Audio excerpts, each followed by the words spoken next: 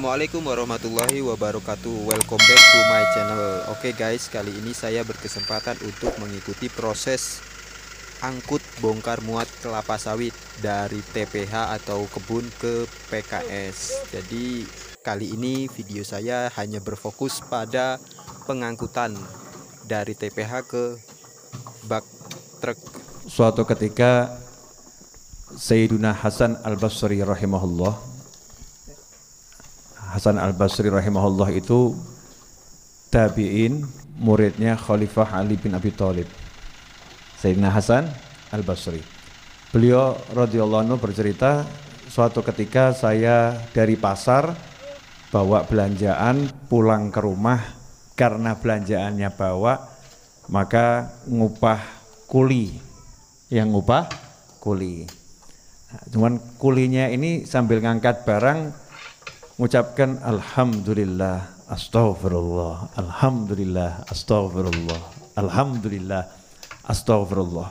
Enggak lebih cuma dua kalimat alhamdulillah astaghfirullah. Sampai di rumah dibayar sama Sayyidina Hasan Al-Basri radhiyallahu anhu. Kemudian wa a'tahu ujrahu sa'alah. Ditanya sama Sayyidina Hasan Al-Basri radhiyallahu anhu saya lihat kamu ini sepanjang jalan ngucap zikir Alhamdulillah Astaghfirullah. Kenapa ngucap seperti itu? Maka dijawab oleh kulinya. Ini kulinya zaman dahulu ya Dibanding kita yang suka ngaji kok masih bagus kulinya. Ana fi hayati kulliha Allah Baina amrain Ni'matun lillahi alayya tastahiqqu minnil hamad wa taksirun fi haqqillah yastahiqqul istighfar.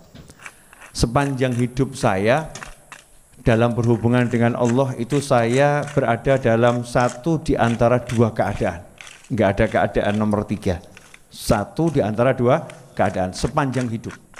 Yang pertama, keadaan di mana saya diberi nikmat oleh Allah Subhanahu wa taala yang nikmat itu wajib saya syukuri harus saya syukuri. Yang kedua, saya berbuat salah kepada Allah Subhanahu wa taala yang mana saya wajib minta maaf, minta am, minta ampun. Makanya sepanjang jalan saya ingat nikmat, alhamdulillah, alhamdulillah. Begitu ingat nikmat Allah, saya ingat diri saya, ya Allah, salatku kok kayak ngono, astagfirullah. Ya. Jadi ingat nikmat, alhamdulillah gitu. Begitu lihat dirinya, yang dilihat adalah dosa dan salah. Lihat Allah baik saja. Lihat dirinya salah saja. Sehingga yang ada apa? Alhamdulillah sama astagfirullah. Ini indah. Lah sementara kita zaman sekarang yang ada, masya Allah, urip kok kayak ini, hidup kok seperti ini. Mau sampai kapan melihat seakan-akan uh, diri ini nggak punya salah, diri nggak punya do, dosa, dan seakan-akan tidak dapat nikmat, seakan-akan dalam keadaan yang gak enak dan tidak enak dan tidak enak. Nah, ini adalah kekufuran yang nyata atas nikmat Allah Subhanahu wa taala. Nauzubillah min dzalik. Makanya kalau kita seperti itu tidak mungkin bisa senang dan bahagia. Kenapa? Karena Allah sudah mengatakan la in syakartum la azidannakum wa la in kafartum inna adzabi lasyadid. Kalau kalian bersyukur tentu pasti aku tambah nikmatku kepada kalian. Jika kalian kufur ingat seksaku teramat pe pedih. Artinya kalau bisa syukur mesti seneng, kalau nggak bisa syukur mesti mumet. Makanya ibu-ibu cek nanti. Ibu-ibu itu kalau mumet sama suami berarti nggak bisa syukuri suami. Betul kan? Karena mesti ingat gak enaknya, bener kan ya? Kalau ingat enaknya jadinya apa? Alhamdulillah. Meskipun suami itu ya ngono. Gak enaknya banyak, gak enaknya apa?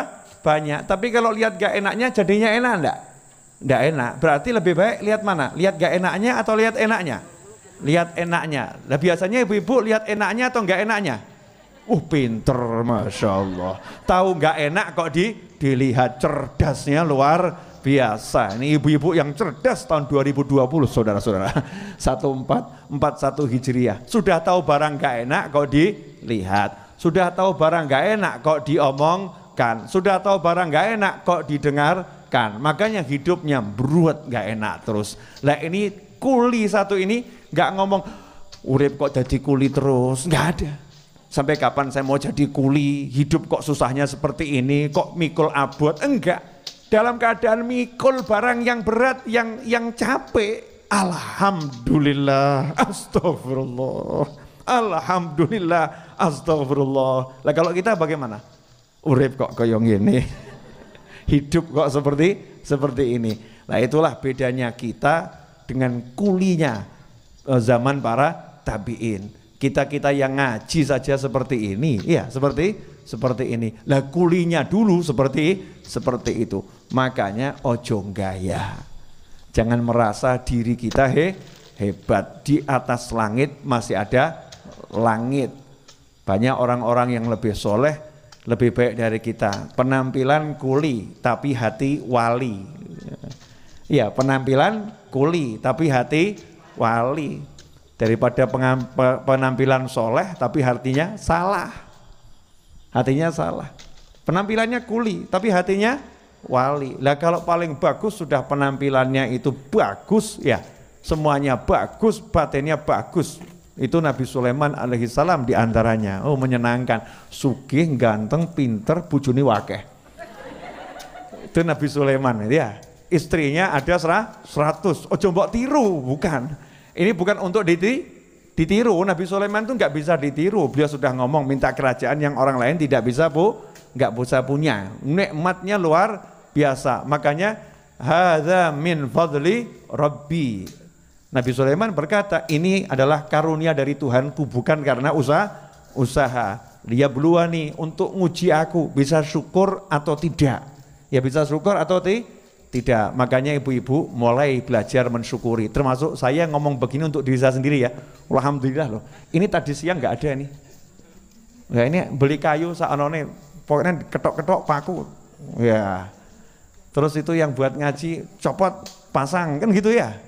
Nanti kalau udah jadi tinggal manggil tukang yang benar. Wes jadi toh karapku kayak ini. Saya pengen jadi seperti ini. Copotin meneh. Gitu aja kok repot. Ya, copoti sama tukang yang betul, di rebut depan, insya Allah ibu-ibu lihat hasilnya udah be betul. Ini bagus gak nih? Bagus, walaupun jenengan bilang welek, aku tetap bilang bagus. Alhamdulillah, saya syukur. Betul kan ya? Ibu saya saja kaget tadi juga tekondi gitu ya. Bocah kok seneng bongkar pasang, bongkar pasang itu. Eh itulah, pokoknya kalau ada nikmat disyukuri. Yang enggak enak enggak usah diingat ingat. Karena diingat-ingat tetap enggak enggak enak. Betul betul betul? Ya contoh terakhir nih. Sudah lebih dari lima menit. Ada orang ngutang enggak bayar-bayar. Ada orang utang sama anda orangnya enggak bayar-bayar. Ditagih ngendo mengelak. Ditelepon mesti direject mati. Kalau orang lain yang telepon nyambung. Jenengan yang telepon mati. Jadi teleponnya kenal. Ya ganti nomor ya tetap mati gitu ya Kira-kira sebel atau enggak sebel? Sebel. Jadi kalau ngingetnya begitu, pegel atau enggak pegel? Pegel. Hatinya enak atau enggak enak? Ya sudah, anggapannya enggak diutang selesai kan? Daripada orang itu hutangnya cuma 200 juta, hutangnya cuma 200 juta, membuat hidupmu sengsara, lebih baik kamu kehilangan 200 juta, tapi hidupmu bahagia. Lebih baik lagi dapat 500 juta, hidupmu bahagia. Kan begitu ya. Nah, itu kalau kalau sudah punya prinsip gitu, atiku larang. Kata orang orang-orang soleh ada pepatah makinil ghali birrohis. Makinil ghali birrohis. Jagalah barang yang mahal menggunakan barang yang murah. Contoh, kepala itu mahal atau murah? Mahal. Helm harga 200 ribu mahal atau murah? Murah. Kenapa murah? Untuk melindungi kepala. Helmnya harga 10 juta, mahal atau murah? Oh mbok delok regone. Kalau lihat harganya mahal, ya. Tapi kalau lihat fungsinya menjaga kepala jadinya apa? Murah, betul. Hati kita mahal atau murah? Mahal. Jadi kalau ada orang utang nggak bayar-bayar, utangnya 200 juta buat ruwet